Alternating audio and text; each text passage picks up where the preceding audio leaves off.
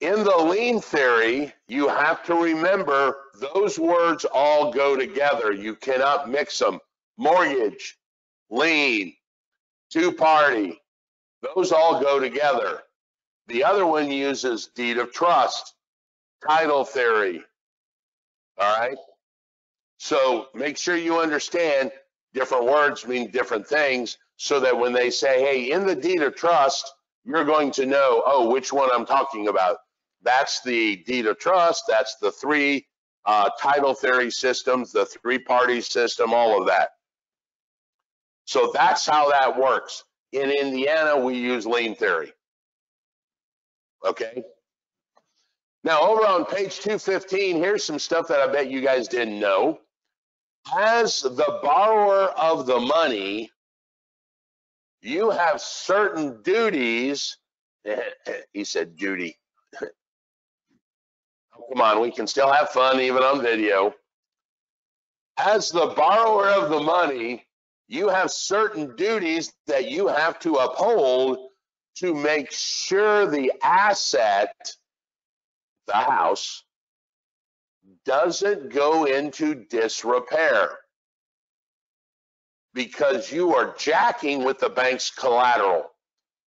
So you've got to make sure that you pay the taxes on it. You got to make sure you keep the repair up. You got to make sure that the maintenance is in good order, all of that. Here's something you didn't know. In theory, let's say you want to add a deck to the house you're sitting in right now. You actually have to get the bank's permission to alter it. No one in the world ever has done this.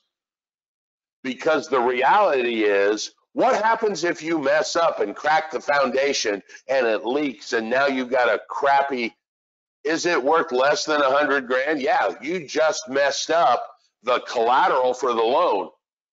So in theory, anytime you modify your house, you are supposed to get your lender's permission to do that. I'm going to add a fourth bedroom on. And you tear the back of the house out, and you all of a sudden you go, uh, I don't think I know how to do this. Now you've got a house with a big hole in it.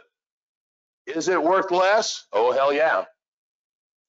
So technically, one of your duties as the borrower of the money is you are not allowed to modify the residence without permission of the mortgagee so that they can know that you're changing their collateral on them. Thumbs up? All right.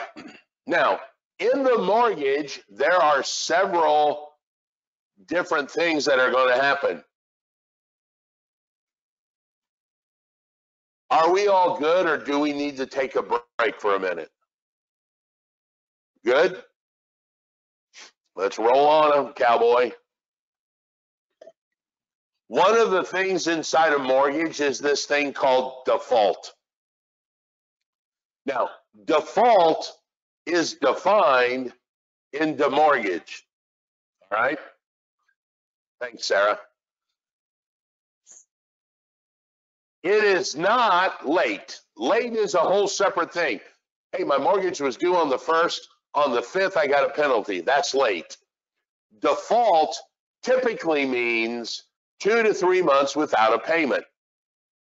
If default happens, several things start to kick in in the mortgage.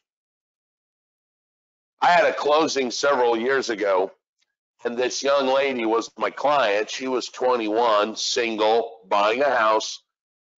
We got to the closing, and she started reading the mortgage. Now, I will tell you, nothing wrong with that, except that the mortgage is federally mandated and it's about 24 pages long of legal text. And I said, oh, I'm sorry, if I would have known, I'd have had the mortgage sent to you yesterday because you certainly aren't going to sit here and read the mortgage 24 pages of legal document. We'd be here five hours. And she said, Well, my dad told me to, to read everything. I, I commend that 100%. And if you want to do that, we can stop the closing and come back tomorrow. And the guy working at the title company said the smartest thing I've ever heard, and I repeat it all the time now. And this is what he said. In that document, there is nothing in there that's going to hurt you if you make your payments on time. Conversely, if you go into default, there's nothing in there that's going to help you. And that's the way you need to look at this. That mortgage virtually is ineffective if you make your house payments on time every month like you agreed to. The mortgage only kicks in when the stuff starts to hit the fan. And one of the things that kicks in is when it goes into default, they are going to activate what's called the acceleration clause. The acceleration clause. The acceleration clause basically says this You have proven yourself unworthy of our money. We're unworthy. Wayne, we want the rest of our money now. You have an outstanding balance of $90,000. We are calling it due today. And if not today, yesterday. That is called the acceleration. They are accelerating all of the money that you have spread out over the next 30 years to today. Now, do not get confused here. They are not seeking 360 payments of $500. They are seeking the balance that you still owe currently. Everybody understand that.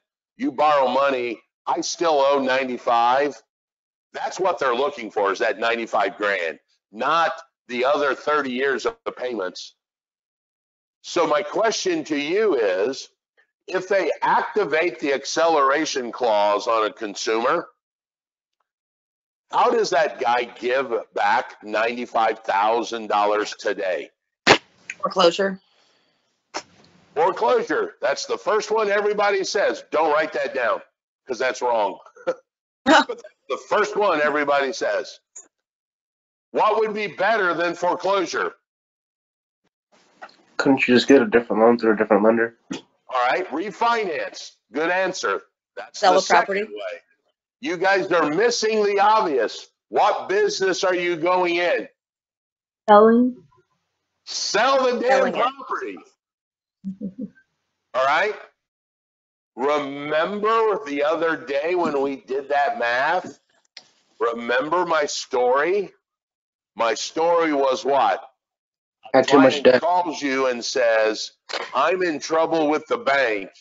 I need to sell my house for what I owe and walk away. And we did that math problem. How much do you owe? I owe a hundred grand. Okay, I know you got fifteen hundred in closing and the Modulin Group charges seven percent. Therefore, blah, blah, blah, blah, blah, blah, we list your house for one oh nine, one thirty-nine. That is a very common scenario. Yes, foreclosure, that's the last thing you want to happen. I doubt you're going to refinance because you now have proven yourself that you are late on payments, so no other lender is going to touch you. That's an option, not a good one, probably won't work. The most and best option is to call one of you guys and go, I'm in trouble with the bank. Come and sell my house so I can pay my loan off because they've called it due and I want to pay it off and get out. All right. So when the activation clause or the acceleration clause gets activated, this is where we get the phone call going, Hey, I'm in trouble. Come help. Okay. So that's the first thing. Does that affect your ability to get another loan? If you, as long as you pay it off to the bank, it doesn't ma, does it matter? Will it affect anything in the It future? will ding your credit because if they called you in, Sarah, and said, do the math, and you 109, 139, and you closed it, they would call that satisfied on your credit, so your loan is satisfied, closed. But here's the problem. You probably have a couple months on your credit of either late or no payments. That's how you got into this situation to begin with. Sure. Okay. All right. Now, the cool thing is that's going to roll off in about two years. Whereas a foreclosure is going to stay on your credit seven to 10 years. So selling the property is obviously the ultimate, ult, optimal answer. You still have some ding because that's how you got in this position. I lost my job. I haven't made my house payment in two or three months. They called it due. I called an agent. He sold it, closed the loan out. I still have three months of late payments on my credit, but those will be gone in two years. All right. Now, there's some other things that happen or could happen. The note, remember two documents, the note and the mortgage. The note has value. You borrowed a hundred, it's worth 200. Because it has value, it can be sold to another investor. Has anybody ever got a loan and by the time you get home, there's already a letter in your mailbox saying, we've sold your loan to another bank. Happens all the time. They will sell the IOU because it has value, right? I loaned 100, but I'm getting back 200. So there's profit in there. I can sell that to someone else. Well, the problem is the IOU is the bark of the dog. Where's the real bite of the dog? The real, The interest. that, that's part of the bark. Where's, uh-huh. if I was going to loan you money, Cameron, and said, if you don't pay me back, what am I going to do? I may bitch and moan and piss and cry and whine, but if I said, if you don't pay me back, I'm going to take your house, where's the real bite in this dog? It's the mortgage Uh, that collateralizes the house. The IOU's the bark. Hey, you owe us money. Hey, you owe us money. Hey, you owe us money. Oh, you owe us money now? We're going to court and taking your house. There's the bar bite. so so- the bark is leverage. Oh, The note, sorry, go ahead. I said the bark is basically the leverage, the leverage they have over you. The Like, bite is the leverage. That's have the analogy I use. It is the mortgage. I mean, if I owed you five dollars, Cameron, big deal. So what? What are you going to do? Beat me up? Take me to court? But if I didn't pay you, you came and took my car for that. Now I have a more of a reason to make the payment. So the fact that you can bark at me all day, you owe me money, you owe me money, you're going to bite me in the butt and take my car. So the analogy that I use is the IOU is a bark of a dog. The mortgage is the bite. That's the one they really want to avoid.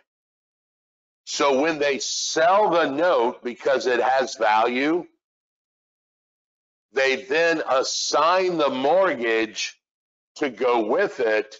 So whoever the investor is that bought the note also gets the bite.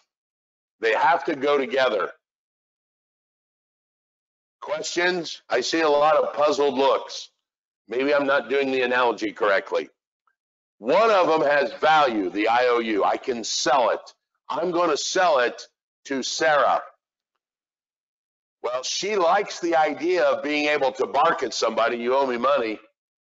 But if they don't pay, she wants the ability to now take their house. So I sold her the IOU, but I'm going to give her the mortgage that goes with it. So she has both of them, the bark and the bite. All right.